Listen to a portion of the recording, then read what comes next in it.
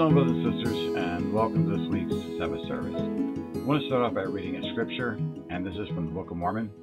This is Jacob 37a RAV, which is Community of Christ edition of the Book of Mormon, 4 6a in the OPV, which would be the Salt Lake City Church, the Brighamites edition of the Book of Mormon. Wherefore we search the prophets, and we have many revelations and the spirit of prophecy. As for announcements, we are still engaging in discussions on the temple, and later today we'll be having our first meeting as a temple committee. To move forward in that, we ask that you please pray for the temple committee that we will know the Lord's will in all things and in, in putting these things together. And also, we of course need donations for that. So please, if you can afford to give, don't forget to give. We have a brother with a congregation in Tennessee that is small, and talking to him this week, it sounds like he wants to grow it. If you could please remember him and his congregation and his family in your prayers as they are working to move forward in Christ. And there's a number of people that are working to be ordained to the priesthood in the fellowship or just in non denominational Mormonism. And one of the things that we're trying to do is find a balance. We don't want to be gatekeepers. We don't want to tell people who can or can't be ordained. At the same time, we need to make sure that as people ordained, they aren't ordained and then just left wondering what they're supposed to do next.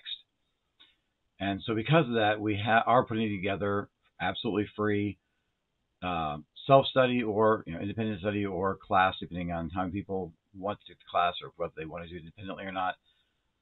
Courses but we need to make sure that what we're doing again doesn't become a barrier between them and and God.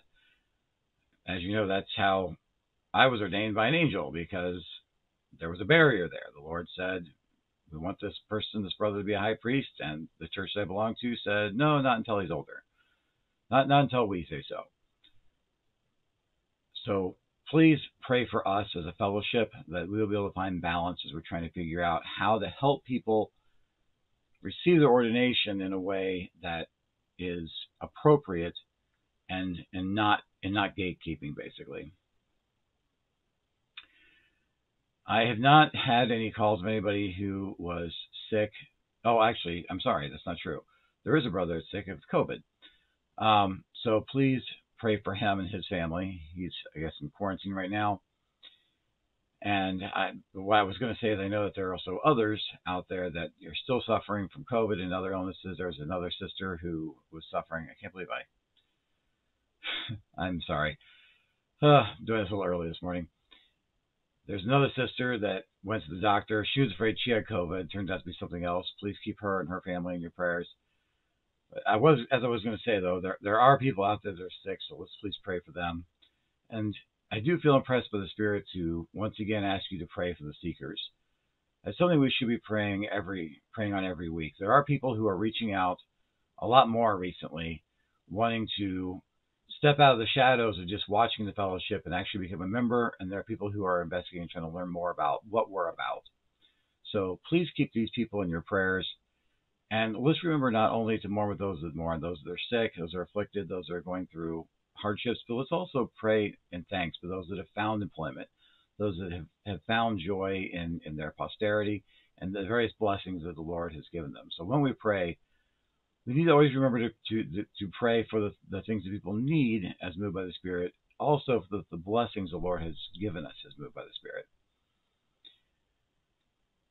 So, with that, if you'd like to pause the video for an opening hymn and a prayer, please do so now.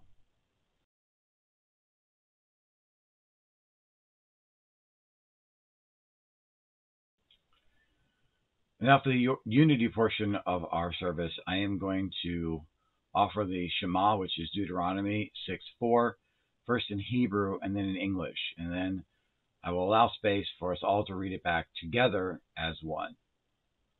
Shema Yisrael, Yavah Elohenu, Yavah Echad. Hear, O Israel, Yavah is our Elohim. Yavah is unity.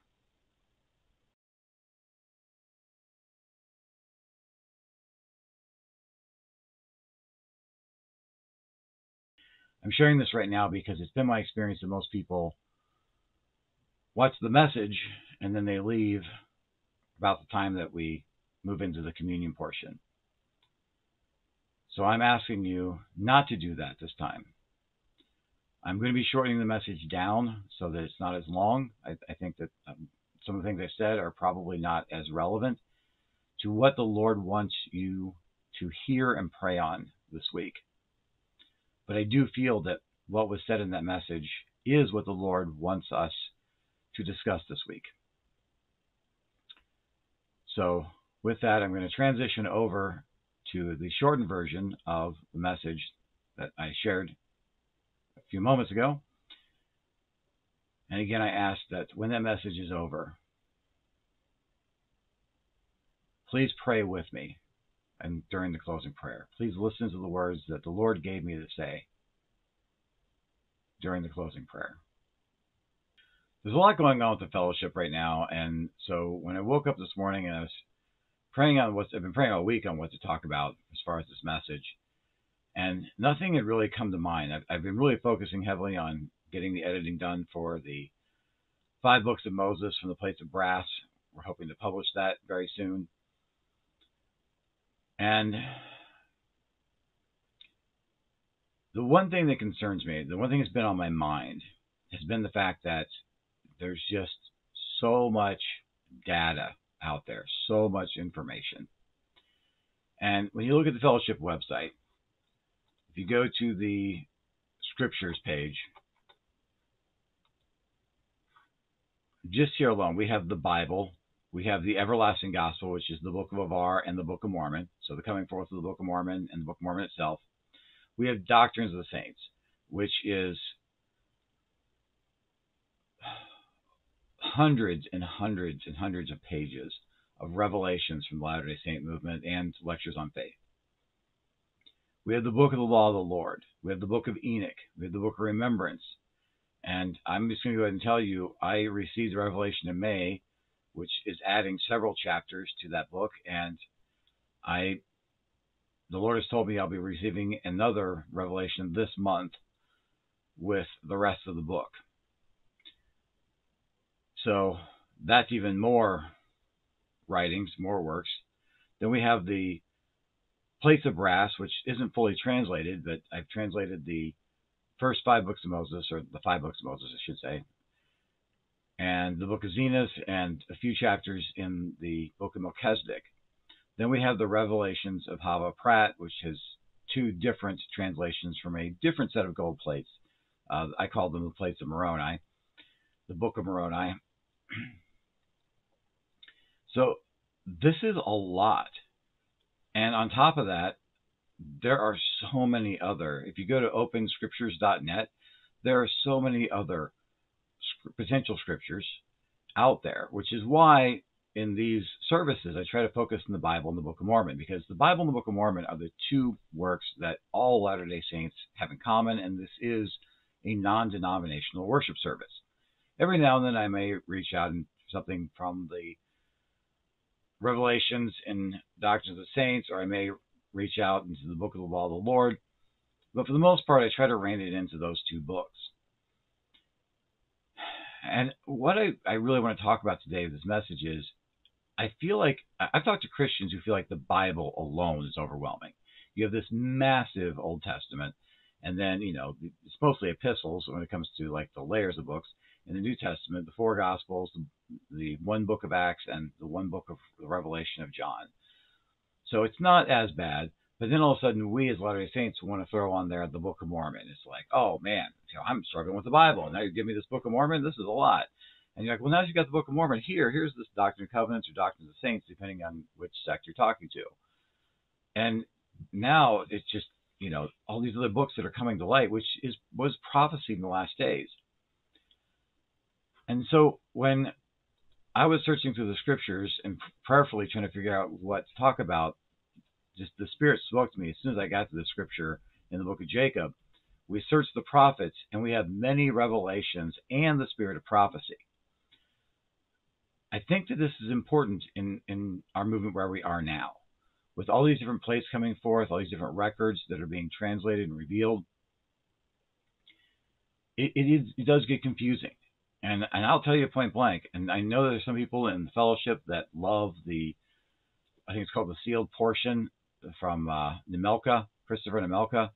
The man has admitted he's a fraud. He point blank said, and now openly admits that he wrote these books. At first, he pretended like he stole them from the Salt Lake City Church's archives. Then he claimed that he was given gold plates by Joseph Smith of Moroni in the Salt Lake City Temple.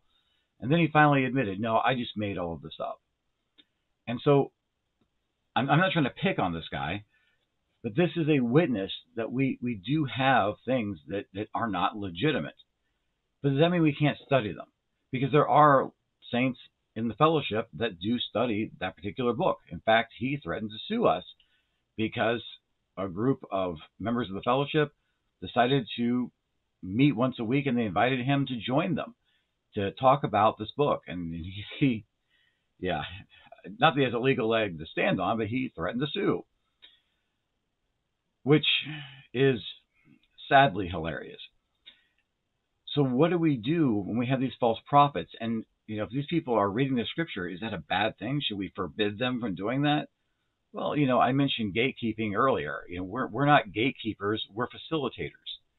And so if somebody wants to read that book and if they do read it and they feel something is in there that really testifies to them of Christ, then by all means read it. We just don't want to push this idea that it's scripture on everybody else. In the fellowship of Christ, we have sustained a number of scriptures as canon for our movement. But the reality is that out of that list that I read, not all of them were voted on. There are many sections in Doctrine of Saints that we didn't vote on because we don't want these books to be a test for admission into this movement. So we don't ask you as part of the questions, you know, do you believe the Bible is the Word of God? Do you believe the Book of Mormon is the Word of God? Do you believe that Dave is a prophet? We don't ask those questions. Our questions are all very personal about your relationship with God. So if you read something and you feel it's Scripture, I want to make sure you know and you feel comfortable understanding that that, that for you is Scripture. And I also want to make sure you don't make someone else uncomfortable by trying to insist to everyone else that it is. And, and likewise, the same thing. If we voted something, Ken, if you read the Book of Enoch and you're like, "This is dumb. I don't believe this at all," then then don't.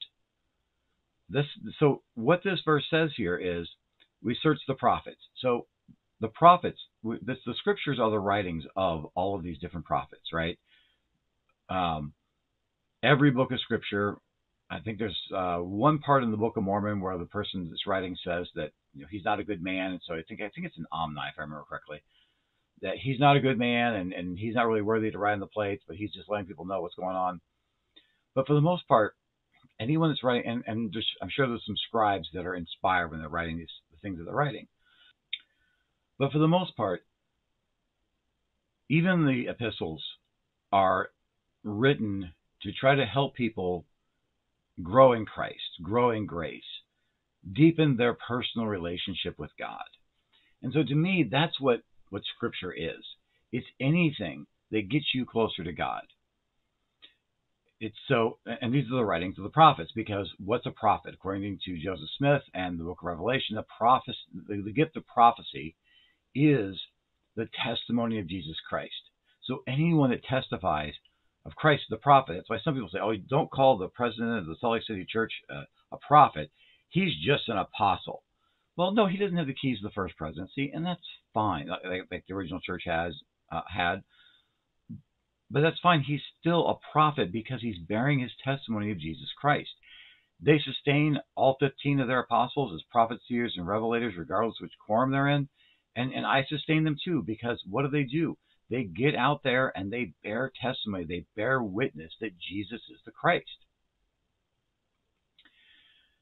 So as we have many revelations.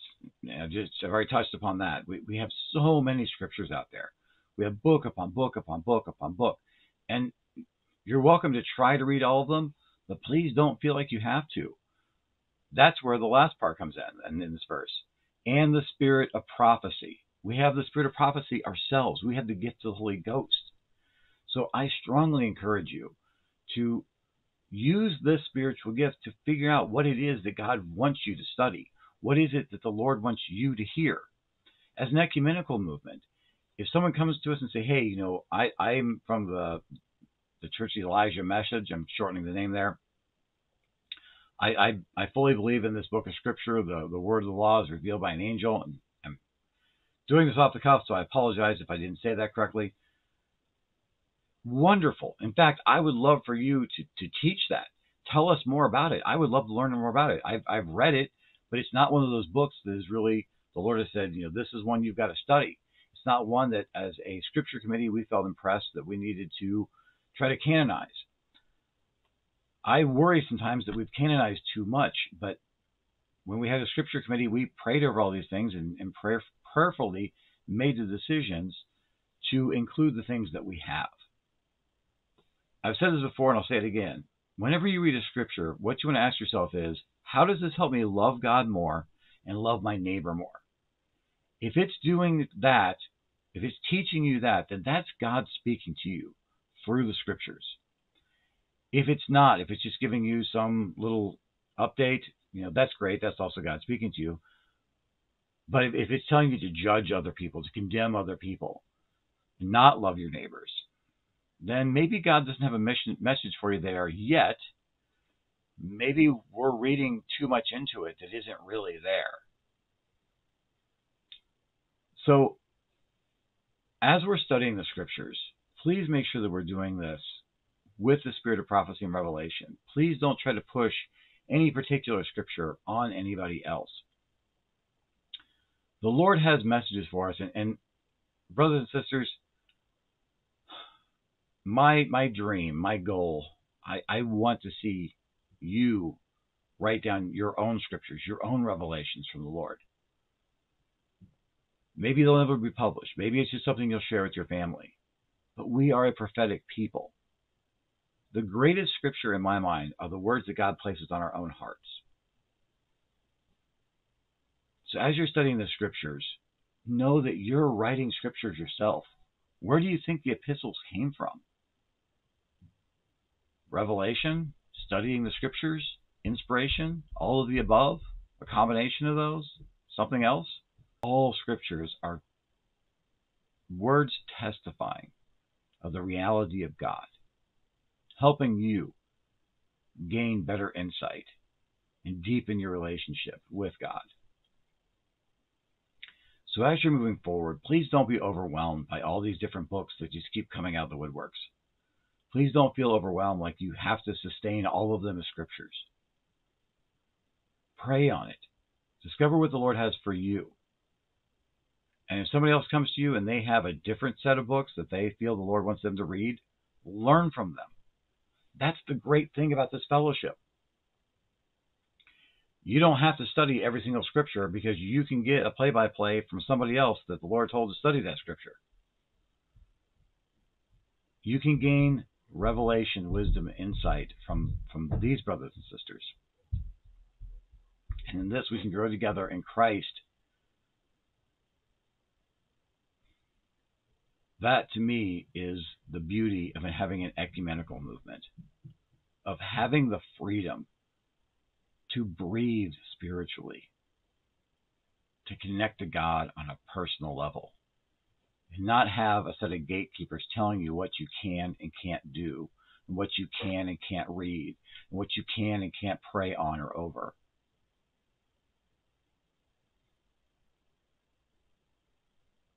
I want to leave you with a challenge. If you ever see us in the fellowship doing anything that you see as gatekeeping, call us out. Let us know. Every time I share my opinion, that's what it is. My opinion. Take it to God. Pray on it. Come back and tell us what the Lord says to you.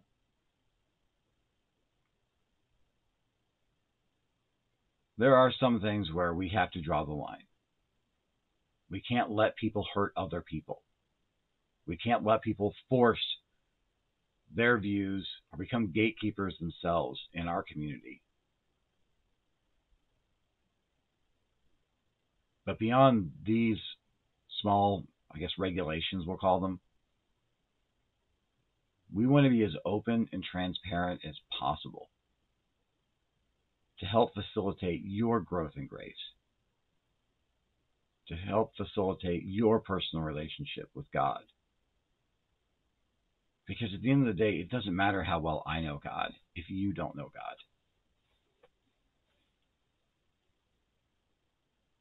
Yes, there are those that have the gift of testimony through the testimony of others. That doesn't mean that you can't grow your own testimony in your own special way. Together, let's, as brothers and sisters in Christ, lean upon the Lord.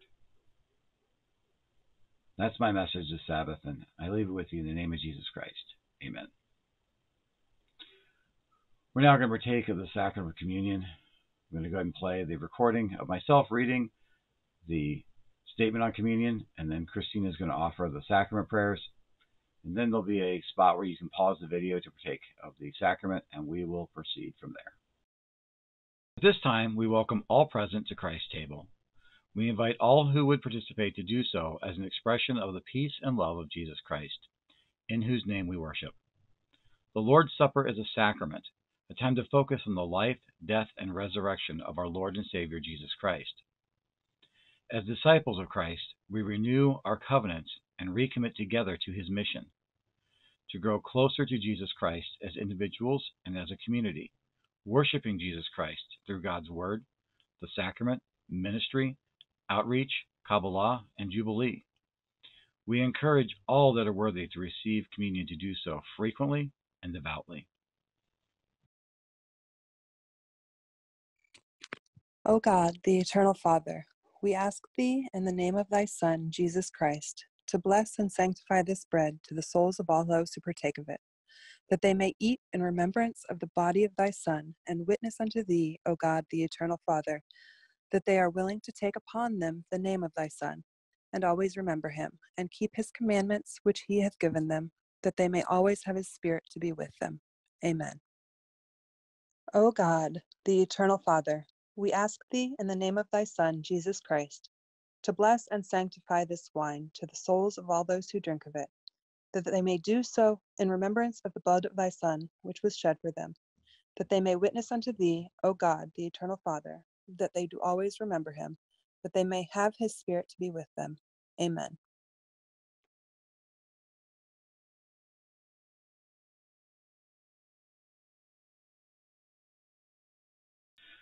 I want to thank you for joining us this week and ask that you please like, share, subscribe. If this video has moved you in any way, if any of these videos have moved you in any way, please share them. That's really probably the biggest missionary work that we ask people to do is to like and share these videos. Subscribe to the channel, pray for others, and let your light shine forth as you go about your Father's business in your everyday life. We're now going to offer, I'm now going to offer a closing prayer.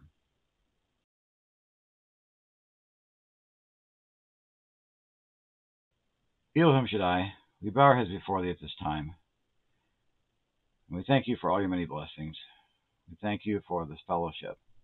We thank you for the opportunity we have to meet together as saints the technology you've blessed us with so that we can have these meetings we're so far apart. And we ask you that you put a special blessing on the seekers, on those that are either seeking and wanting to learn more about the fellowship, or those that are kind of hanging out in the background that are not coming forward for whatever reason. Please bless them. If they need to be standing in the shadows, as they are still healing, then please help them heal. If you have called them to step forward and help in this work, then please give them the courage and the conviction and the testimony that they need to step forward to assist in this work. Satan is working very hard.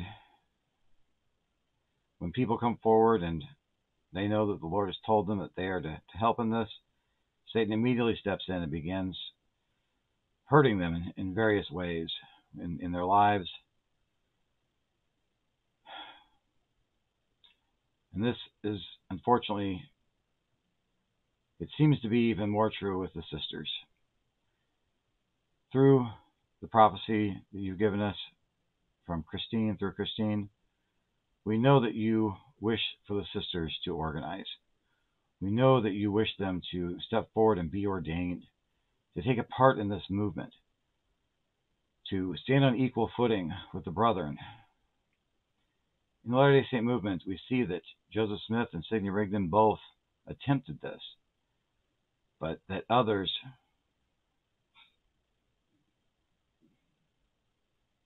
stepped in and, and stopped it. And there are those that did continue to a certain extent, such as James Strang, who did ordain sisters to the Aaronic priesthood,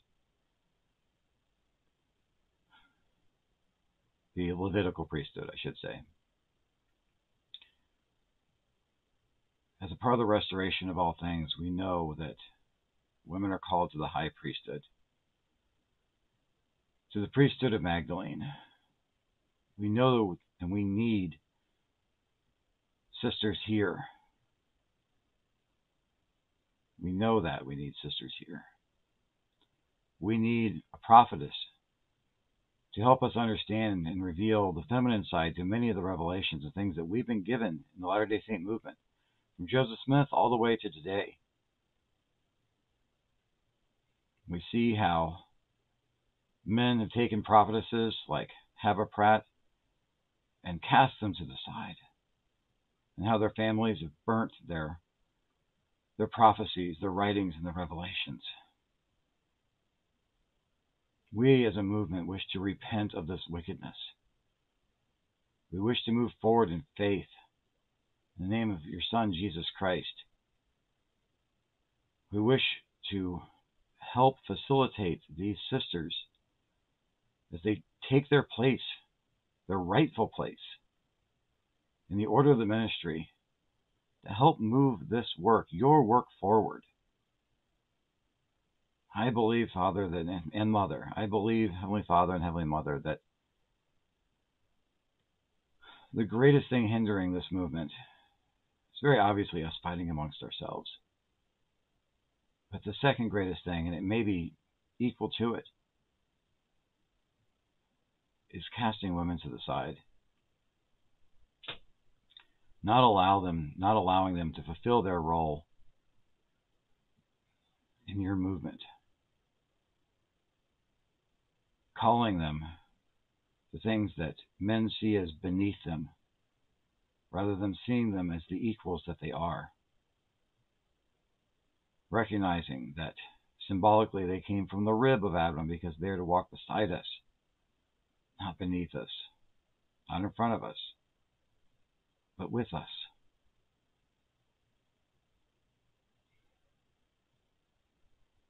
Without sisters in leadership, without sisters in priesthood keys helping to guide this fellowship forward, we are severely diminished and handicapped. We are stuck at a point to where we are attempting to move forward. I believe that not having sisters in the places we need them, holding priesthood keys, sharing with us their prophecies and revelations and their understanding of things is slowing us down. And I know this because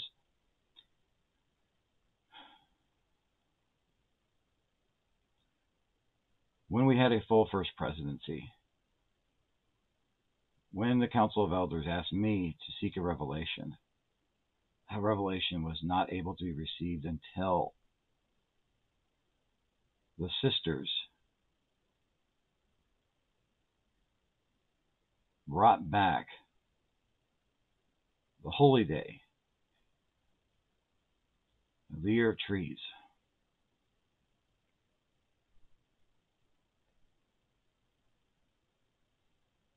He brought that back because of a revelation that was given to his sister a prophetess of this restoration.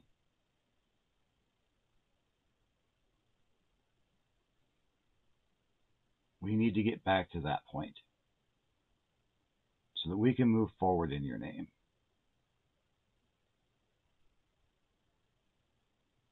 So we ask thee, Father, to please bless those seeking, both the men and the women. Help them to find their roles, find their ministries, find the things that you are asking them to do so that we can move forward in faith, so that we can move forward with proper wisdom and understanding, with proper knowledge and wisdom so we can have understanding, so we can move forward in righteousness, so that we can move forward as one in Christ, as a whole being, and not merely a brotherhood.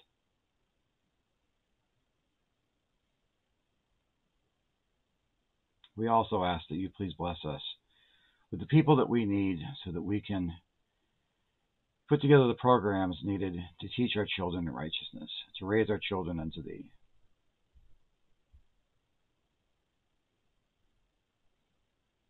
So much has been done, and there is so much more to do.